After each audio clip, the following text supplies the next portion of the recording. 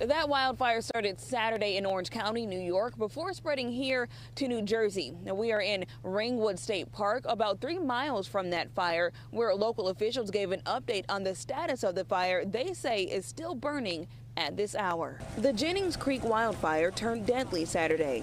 New York State officials say 18-year-old Dariel Vasquez, a New York State Parks employee, died after a tree fell on top of him as he battled the fire.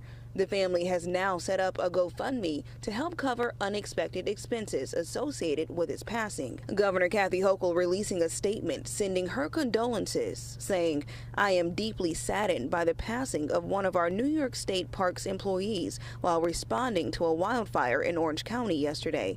My prayers go out to his family, friends, and coworkers during this difficult time.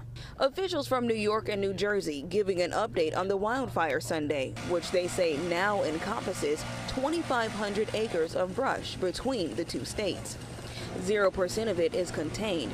Officials say the fire is a threat to two residents, although they have not had any evacuations so far. Eight historic buildings are also threatened by the fire, although they are unoccupied at this hour.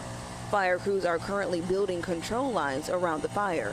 The brush is expected to burn until at least the end of the week before it is able to be controlled. I don't anticipate any New Jersey residents having to be evacuated. I don't believe New York has anything anticipated. There's certainly going to be smoke in the area.